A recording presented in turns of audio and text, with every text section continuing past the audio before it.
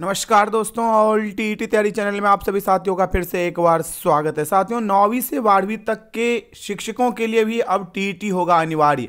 वैसे तो बिहार राज्य में नौवीं से बारहवीं के लिए टी टी तो पहले से ही अनिवार्य है, लेकिन पूरे देश में नहीं था। तो ये बड़ी अपडेट हम सभी के बीच में आ रही है।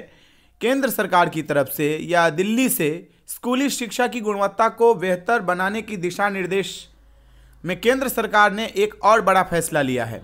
इसके तहत स्कूलों में नौवीं से बारहवीं कक्षा तक पढ़ाने वाले शिक्षकों को भी अब टीटी टीचर्स एलिजिबिलिटी टेस्ट जो है वो देना होगा, जो अगले शैक्षणिक सत्र 24-25 से प्रभावी होगा।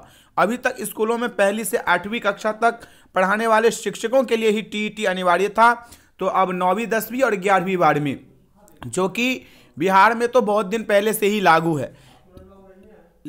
लेकिन पूरे देश में लागू नहीं था। तो केंद्र सरकार ने इस पर फैसला ले लिया है। 24-25 के सत्र में बिना टीईटी दिए हुए आप जो है टीचर नहीं बन सकते हैं।